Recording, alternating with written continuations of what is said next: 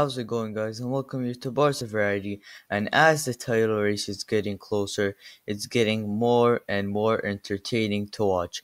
There are eight games to go, and you can see how tight it is at the top. But who will lift the La Liga trophy in the end?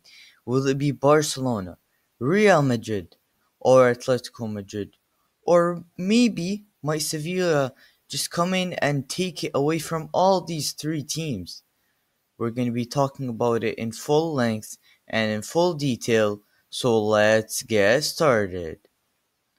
And guys, I will also be giving you an update on Ansu Fati's recovery because there were some great news.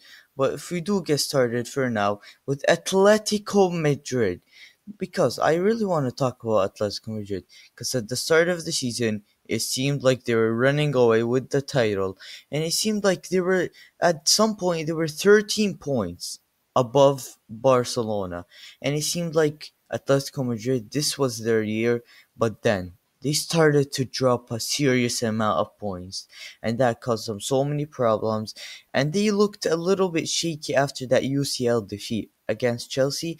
They started to lose confidence in themselves, but before that, they were very, very solid. Guys, the question here is can Atletico Madrid handle the pressure? They are the league leaders by one point, and there are eight games to go. But can Atletico Madrid handle the pressure? Now, here, I don't fancy Atletico Madrid because we've seen them crumble under pressure and they are only one point above Real Madrid and two points above Barcelona, so you would expect them not to handle the pressure. They you already saw the signs of nervous and they're already very, very nervous and they're not getting good results or dropping many, many points. But if we take a look at Atletico Madrid's schedule, because Atletico Madrid go home to Eibar, which you would think it's an easy game, but the small teams don't always say they're easy games because they could show up and they could make life difficult for you. And then they have Huesca at home, they have Atletico Bilbao away, which they will be challenged, Elche away, and then of course they face Barcelona. We face them at the Camp Nou, and then they go home to Real Sociedad, home to Osasuna, and away to Real Valladolid. So you can see they have Athletic Bilbao, they have FC Barcelona, they have Real Sociedad, they have three tough games. You could say that they could drop points, but they could even drop points against Osasuna, Eibar, Huesca, Elche, Real Valladolid because they've been so bad. They've been so bad under the pressure. It's like they can't handle it anymore. But then we go we do go on to talk about second place Real Madrid. Because yes the El Clasico was crucial for Real Madrid, but this is what I said before the game. It won't be decisive for the La Liga title because after the El Clasico Real Madrid were favorites. It's everyone went into Real Madrid's favor and everyone's like okay, they are looking like they won't lose any more points, and they are the winners for this La Liga title. And to be fair, they are in great form, and they are in huge, huge part of their season. So you'd expect them to be very, very focused, but they've been hit by so many injuries. It looks like Lucas Vázquez will miss the rest of the season, and he's been so important for them. Ramos out injured. Varane tested positive for COVID nineteen. They have so many injury problems, so you'd expect them to drop some points. And also, they have the Champions League, and right now they lead 3 1 on aggregate and they go to Anfield. And you would expect them to get the job done, and that would actually be good news if they get the job done because they have another champ another title to focus on, another competition to focus on other than La Liga. But for Barcelona and Atletico Madrid, they only have La Liga. There is no Champions League. Barcelona just have the Copa del Rey final and they have no Champions League. So Real Madrid you would expect them to want the Champions League more than they would want the La Liga title. And if we do take a look at Real Madrid's games, because they go away to Getafe, they go away to Cadiz, and then they go home to Betis, home Osasuna, home Sevilla, away to Granada, away to Athletic Bilbao, and home to Villarreal. And guys, people saying that Real Madrid fixtures are the easiest. But you know what? There's a good mix of some difficulties because they go home to Betis. That's a difficult one. And away to Cadiz is not always easy. It is not always easy. And then they do go ho- away home to Sevilla and away to Athletic Bilbao and home to Villarreal. You would expect all those teams to challenge them. And also Granada away is not easy at all. So you expect these teams to challenge them. And if they do drop some points, even if it's two points, Barcelona would go all the way up in the title race. They would go past them. But Barcelona cannot afford to drop any more points. And talking of Barcelona, we do move on to talk about Barcelona, the team that we're gonna talk about, the last team, but not the least, because they are in third place, and Sevilla are coming behind them. Sevilla are only four points away, and we should be careful of Sevilla.